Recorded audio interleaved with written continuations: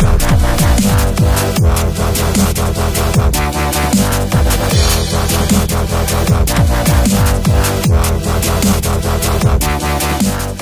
everyone, this is Vivek from NISER and uh, today I am making a very special video on careers after NISER. Okay, so many of you have asked me about uh, what will be the salary if you get after NISER, what will be the job opportunities, should you be doing PhD or should you be going for other jobs and all that to remind you that I have already made a detailed series with an expert on career options who has already explored so much careers. He has already uh, completed his PhD in nanotechnology and its biomedical applications from University of Chicago. He is an alumni of NISER.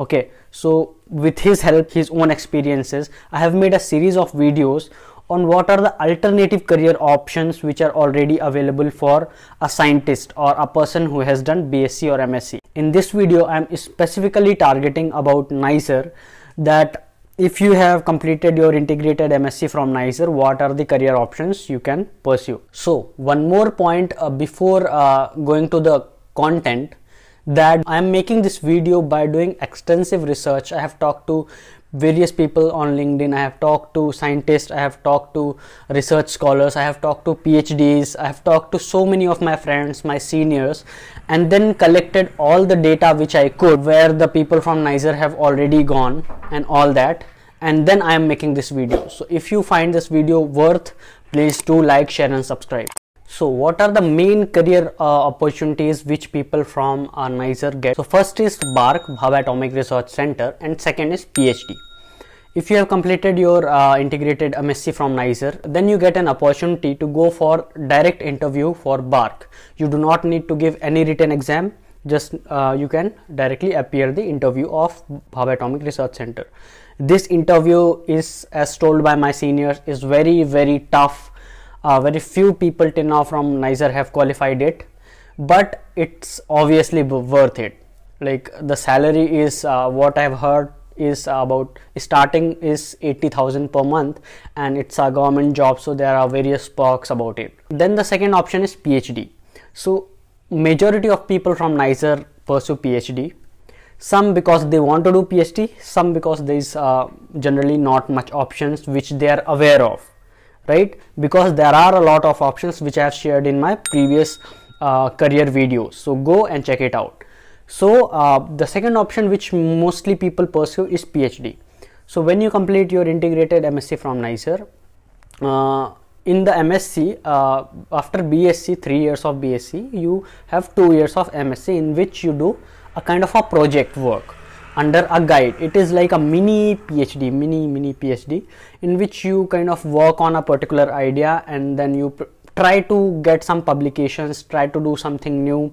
Uh, basically mini phd uh, in the sense that you try to do actual research rather than just studying theory and doing uh, learning simple things about practicals. Because in the bsc the three year phase of your integrated msc you have already kind of learned the basics. Now it is the time to apply it and produce something new. So in that msc project uh, you have a guide. Then how you get a phd uh, recommendation of guide is needed. You email to the industry uh, to the uh, various colleges in india or outside india. In india uh, you need to give a net exam for outside it depends on countries. In uh, us definitely i think you need GRE and TOEFL then you apply to various colleges then it depends on the level of colleges you are applying. For example people from NISER have gone to various universities like MIT Yale University of Wisconsin Madison University of Chicago UTD and so on. A lot of universities outside India for PhD uh, and as you know as I already shared to MIT as well some of the universities where our seniors went are in uh, chemistry uh, people went to Yale universities Emory University USA University of Florida USA uh, this single person uh, Leela Sriram D from chemistry department he got four PhD uh, recommendations or four PhD opportunities offers. That is from Yale from Emory from University of Florida and from University of Utah so if you are a very valuable candidate, a lot of universities will offer uh, their PhD to you. Uh, then we have a senior Aparna KH chemistry department. She got three PhD offers University of Illinois Urbana-Champaign, USA, uh, Stony Brook University, USA, and Ohio State University, USA. Then uh, we have uh, Ved Prakash Roy from chemistry department. He got these uh, about five PhD offers from University of Michigan, uh, Ann Arbor, USA, Stony Brook University, USA, University of Minnesota, uh, and Minnesota, uh, University of Minnesota, USA, University of Pittsburgh, USA, and Tata Institute of Fundamental Research in India. The, uh, there's a whole list of people. Like there are people who got, as I already said, three, four, five PhD offers, right? And it also depends on your field and how many uh, universities did you apply for right? Because these people have applied for more than five universities and they got selected for this. So these are the uh, this is the list of people who uh, got uh, placed uh, for phd in various uh, universities across the world.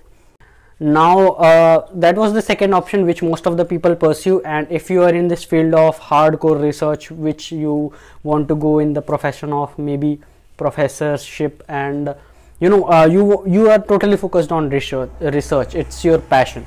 Then generally people pursue it then uh, apart from these there are actually various other options as well which most people are not generally aware of. There is a person who went to isro okay uh, i'm not sure about drdo but there is uh, one of our senior who went to isro.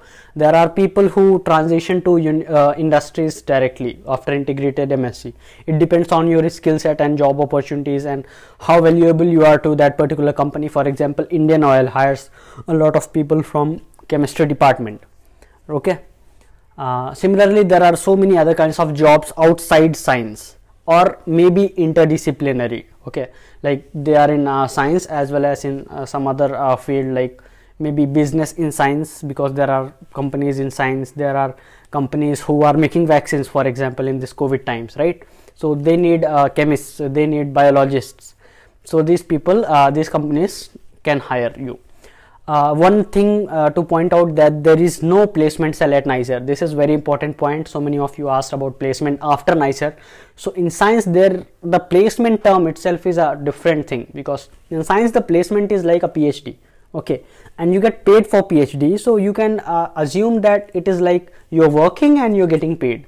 Although it's called stipend, it's not a job salary that oh you you can run your family on it it's up to you although it's a, a, pretty good amount decent amount. And that phd stipend in india it is uh, generally uh, 30 to 40 thousand. But in us and other places or if you have a better profile you get uh, like uh, 3 to 4 lakh per month as well. But also uh, the cost of living in uh, new york city and those us cities is also very high. So remember that. Okay. So you can assume that just like you finish BTech from an engineering and you go to a placement, uh, you, you go to a company for working, uh, similar, kind of similar, not exactly same. Uh, you finish integrated MSc from NISER or any other college and uh, depending on how valuable you are to the company or to the professor for PhD, you get paid, right? And depending on how valuable you are, how best, how good university you have, how good funding in that university is so that they can pay you so a lot of factors are there. So simply uh, there is a BARC there is a phd and there are some other options like uh, which i have shared in my previous videos on career. So now i have already shared a video on careers outside academia right? But few of them i am going to mention here. For example civil services. Uh, you lot of people go for ias and all. Uh, cds indian army air force navy. Uh, mba uh, we have a senior who went for mba after NISER uh, you can go for government teachers. You can become lecturers. There is a tag of NISER which is uh, generally very valued uh, you know.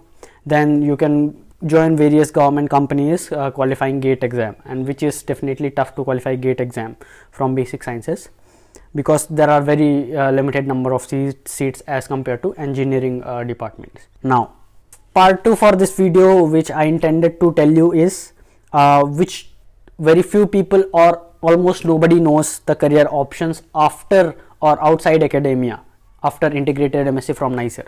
These are you can go for instrumentation and engineering, right? There the instruments in labs which you use somebody is making them right you can go for that if you like uh, more into technical things you can go to lab technology and research and development. You can go for photography and videography. For example i am pursuing science right at NISER but i am making these youtube videos.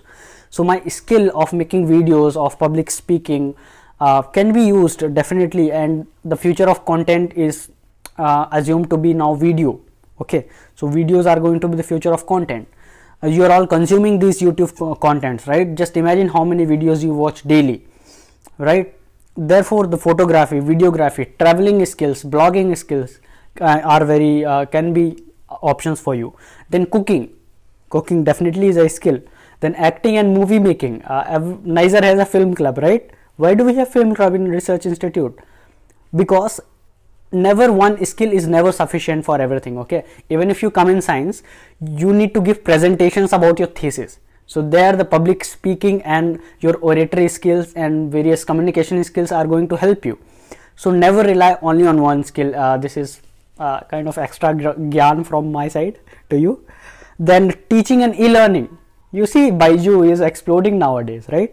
So people uh, need a lot of teachers who, who can use these e-learning methods and bring some change.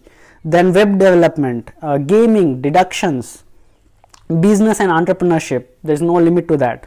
Talking if you like talking then what are the career options for you? Career counseling public relations.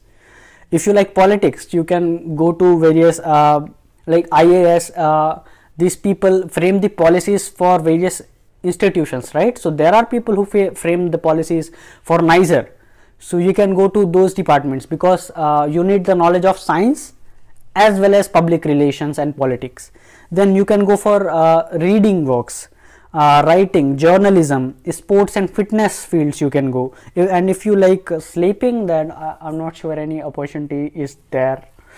Uh, or you just become so rich businessman that you earn despite of uh, sleeping. So uh, these are about 21 opportunities extra which are shared in my previous career videos. Okay? I hope this video was helpful to you i tried to share as much as i could about the careers after graduating from NISER and i think this video will also be helpful to various people at NISER as well. Then uh, extra points for you guys. If you like r&d what are the fields you can go for? Is user experience researcher. These are the jobs i'm naming.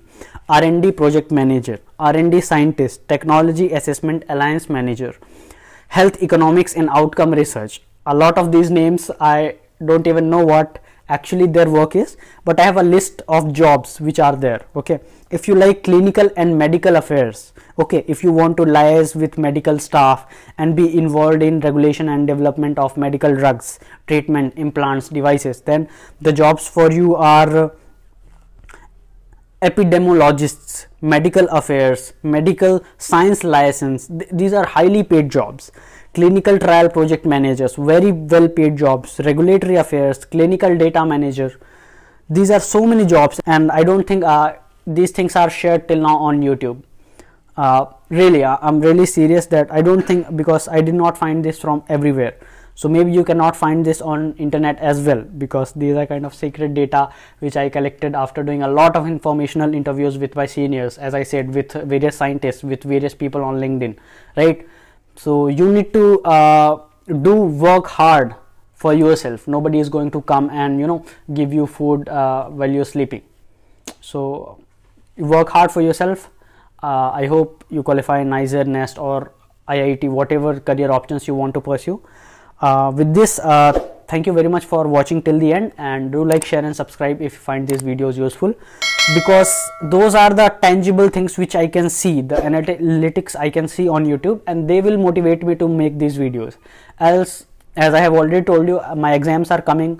Uh, I have a lot of uh, homework you can say to do and various other plans right? So I need a reason why I should make such videos. So with that thank you very much and bye bye